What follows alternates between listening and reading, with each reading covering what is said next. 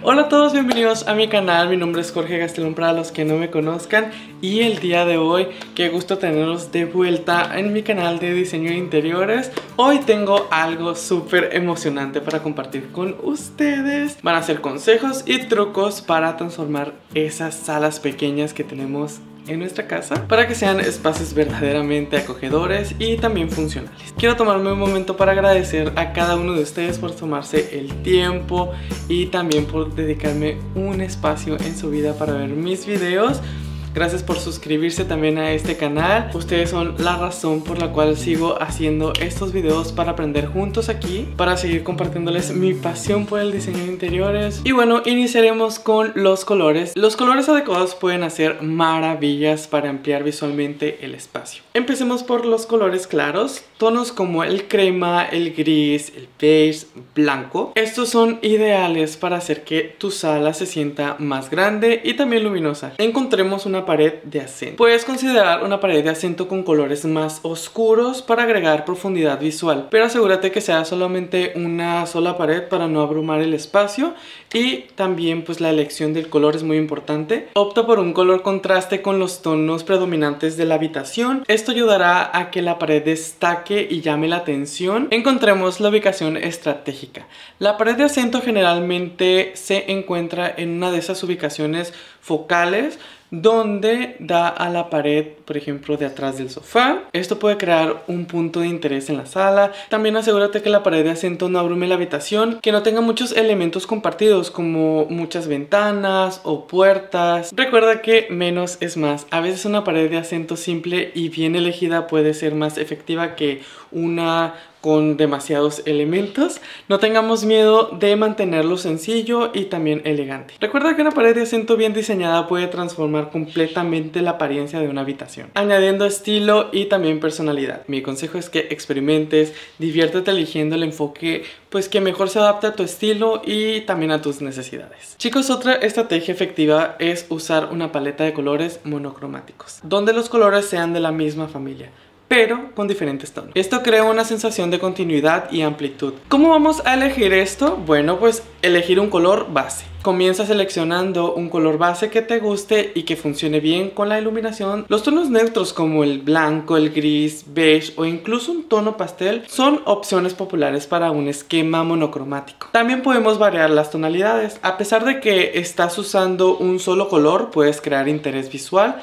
variando las tonalidades. Por ejemplo, podemos pintar un color más oscuro del tono base que estamos utilizando. Esto va a funcionar muchísimo si nuestro espacio de sala o comedor pues están en el mismo lugar. El siguiente tip para usar colores monocromáticos me recuerda muchísimo a Kareli Tips. Es una youtuber de Sinaloa que de hecho se acaba de cambiar pues de casa con su familia y está haciendo el siguiente tip que yo te voy a recomendar que hagas. Realiza pruebas antes de pintar. Antes de comprometerte con un color, pinta pequeñas como muestras en el espacio que vas a colocar la pintura y observa cómo lucen con sus diferentes momentos del día, ya sea en la mañana, luz natural, la artificial también. Esto te ayudará a tomar una decisión más informada. Y pasamos al siguiente tip que es dar un toque de color con la decoración. No olvides agregar toques de color con cojines, con cuadros, con accesorios,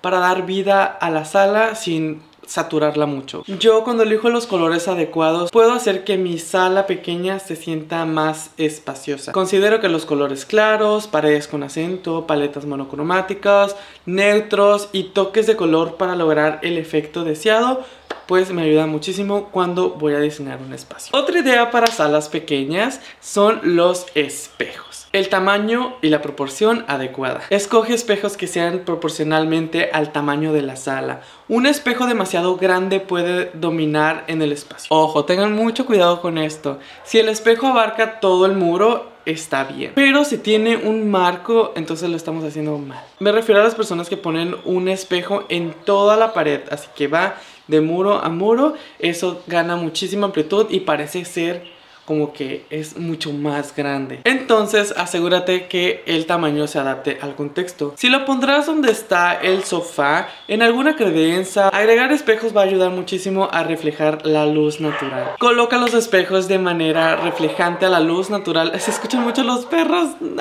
También puedes ubicar espejos frente a una ventana o puertas para maximizar la entrada de luz. También podemos crear una pared de acento con espejos. Una pared entera de espejos va a ayudar muchísimo a que se vea mucho más grande la sala. Y yo te recomiendo que consideres un diseño geométrico para darle ese interés visual. Algo importante también es reflejar como una vista agradable. Si tú tienes la suerte de tener una vista hermosa, que tengas un jardín, que lo que está en el exterior se pueda reflejar algo lindo con ayuda de unos espejos, úsalo. Entonces coloca espejos que de cierta manera reflejen el exterior. Esto no solo ampliará el espacio, sino que también traerá la belleza del exterior al interior de la sala. Otro tip también para colocar espejos es colocar espejos que reflejen decoración de la casa. Por ejemplo, si tienes una pared con estanterías, arte o muebles, coloca espejos frente a esos elementos. Esto duplicará su impacto visual y hará que la sala pues se sienta más grande y que se sienta más decorada. Coloca espejos sobre los muebles. Algo muy común es ponerlos arriba de nuestro sofá, así como este cuadro que yo tengo ahí, pues en igual de ese cuadro, algún espejo. Pueden ser también a un lado de mesas auxiliares, en, una, en un comedor también, en credenzas, bufeteras. También no olvides de utilizar los marcos que sean adecuados, que sean decorativos, que vaya con el resto del diseño que ya tenemos en nuestra casa. Pero pues no exageres. Un exceso de espejos puede dar una sensación de desorden visual. Y bueno, pues también mantenerlos limpios, que es muy muy importante. Asegúrate de limpiarlos pues regularmente. Los espejos que reflejen la luz de manera óptima y que no acumulen polvo ni manchas. Entonces siempre hay que estar limpiándolos constantemente. Otro tip también para espacios y salas pequeñas son las mesas de centro. Las mesas de centro son elementos esenciales en muchas salas, pero en espacios pequeños es importante elegir cuidadosamente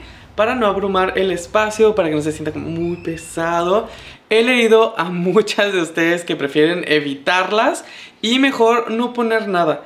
Aquí tienes algunos consejos para que pues puedas elegir una correctamente y pues que puedas utilizar mesas de centro. Lo primerito es tener el tamaño adecuado. Opta por una mesa de centro que sea proporcional a la sala que ya tenemos. En una sala pequeña generalmente es mejor elegir una mesa pues más pequeña y compacta para evitar que ocupe demasiado espacio. Las mesas de centro cuadradas o rectangulares tienden a funcionar bastante bien, pero en salas pequeñas yo lo que te recomiendo es que sean redondas. Estas se adaptan muchísimo mejor a espacios pequeños y pues vamos a evitar esas esquinas para no estarnos golpeando. La altura adecuada también es importante, asegúrate de que la altura de la mesa sea cómoda para que se pueda alcanzar desde el sofá. Por lo general la altura ideal de este, del mismo asiento del sofá o unos centímetros más abajo. Existen ya algunas en el mercado que vienen de dos, una como más chiquita que la otra.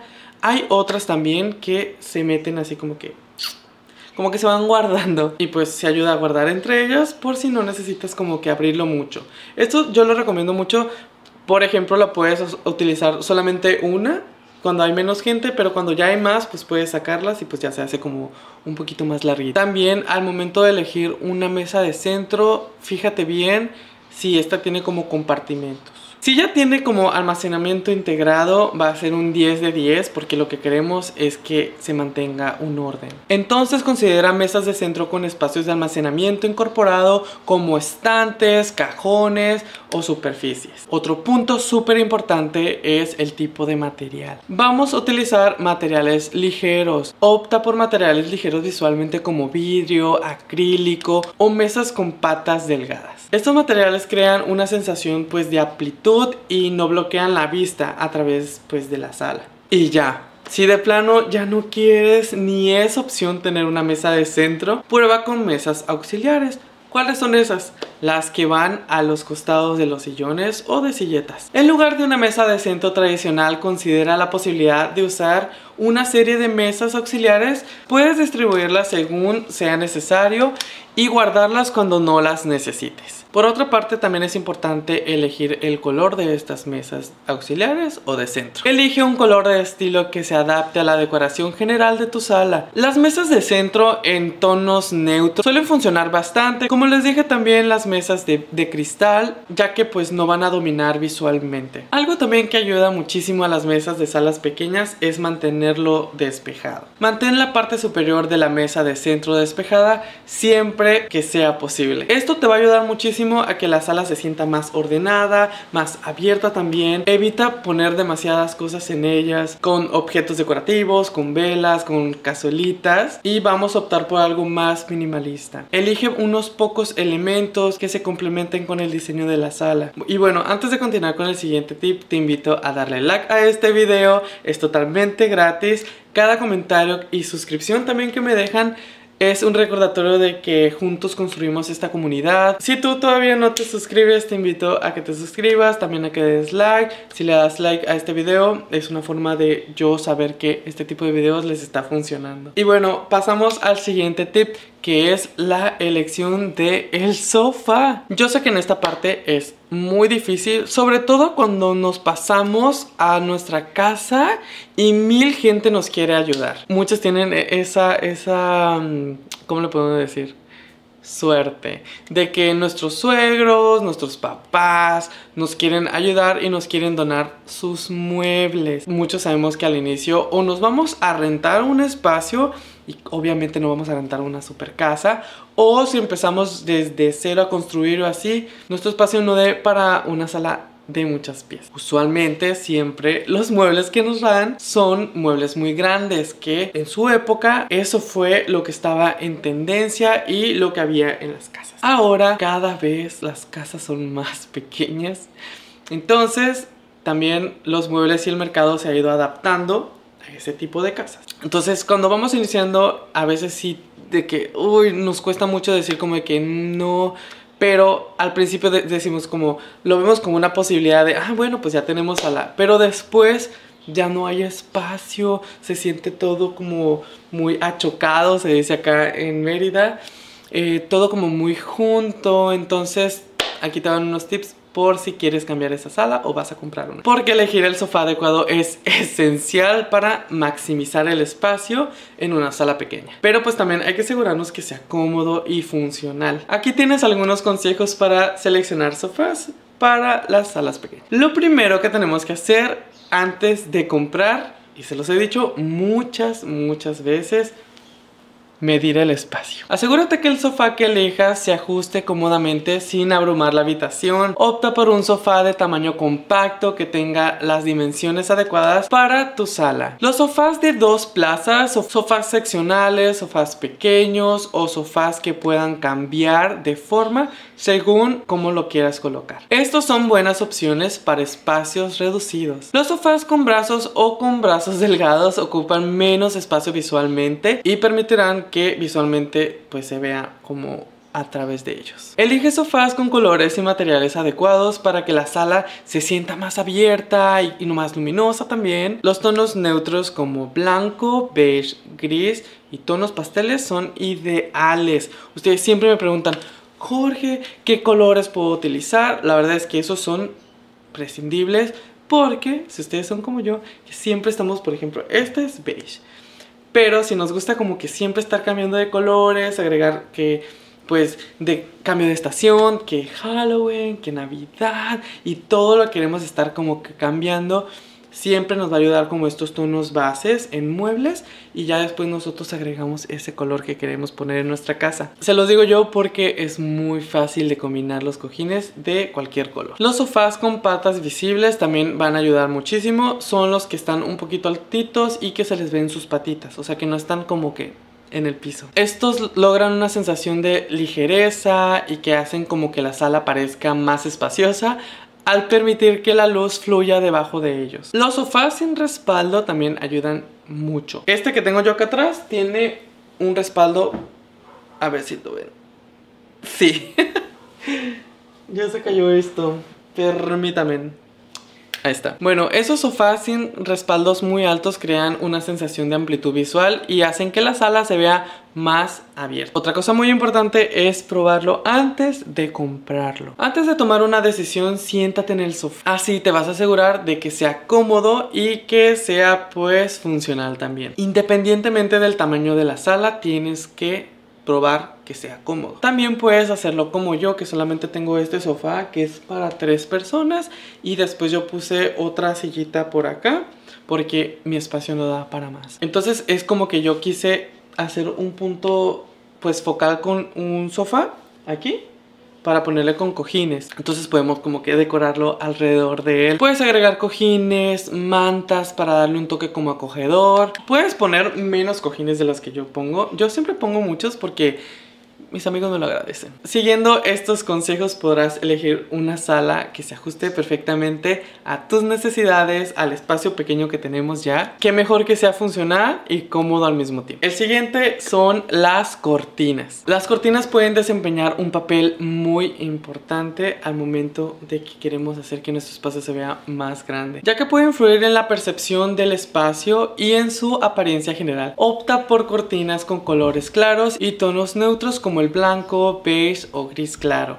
Los colores claros ayudan a que la sala se sienta más luminosa. Si deseas poner patrones, elige diseños sutiles y pequeños solo para agregar un toque de color sutil. Las cortinas hasta el techo. Siempre les digo que las cortinas deben de ir hasta el techo y casi besando el piso. Esto crea la ilusión de techos más altos y también que parezca pues más amplio. Las cortinas ligeras. Utiliza telas livianas y transparentes. Las cortinas ligeras permiten que la luz natural entre y evite que la sala se sienta cerrada. Algo que ayuda también mucho con las cortinas son las líneas verticales. Si eliges cortinas con patrones, considera aquellos que tengan líneas verticales. Estas líneas pueden hacer que la sala parezca más alta y por lo tanto más espaciosa. Cortinas que combinen con las paredes. Utiliza el mismo color que estás utilizando en tus muros en tus cortinas o algún tono muy similar. Esto puede hacer que la sala parezca más grande al eliminar las interrupciones visuales. Algo importante que muchas veces no le ponemos como atención son los cortineros. Elige cortineros simples y delgados que no dominen visualmente la ventana ni la sala. Algo que no debemos dejar pasar es el orden. Eliminar el desorden y mantener la organización en una sala pequeña creo que es esencial para maximizar el espacio y hacer que la habitación se sienta más espaciosa y acogedora. Otro tip para las salas pequeñas son las estanterías flotantes. Utiliza estantería flotante en lugar de estanterías de pie para exhibir libros o objetos de decoración. Esto libera espacio en el suelo y hace que la sala se sienta más abierta. Los cestos y cajas también van a funcionar mucho. Usa cestos y cajas decorativas para almacenar objetos pequeños, revistas o juguetes. Puedes colocar estas cestas en estanterías o debajo de las mesitas auxiliares. Mantén todas las superficies despejadas. Evita acumular objetos en las superficies, como mesas de centro, mesas auxiliares. Creo que debemos mantener como lo más esencial, como pues una lámpara o algunos libros, una vela decorativa. Y con esto concluyo mis consejos para salas pequeñas. Espero te haya encantado estas sugerencias útiles para maximizar tu espacio y crear una sala acogedora en espacios muy muy reducidos. Si deseas estar al tanto de más consejos de diseños, trucos para el hogar y muchas otras ideas útiles, te invito a suscribirte a mi canal aquí abajito, Inspira tu estilo y seguirme también en mis otras redes sociales, en todos lados me puedes encontrar como Jorge Gastelum. Muchas gracias nuevamente por su apoyo, ustedes me ayudan muchísimo a seguir creando contenido y crear esta hermosa comunidad que hemos hecho juntos. Gracias por estar conmigo y por ser parte de mi comunidad Inspira tu estilo. Juntos podemos transformar nuestro espacio y hacer que cada rincón de nuestro hogar sea pues más especial. Bye.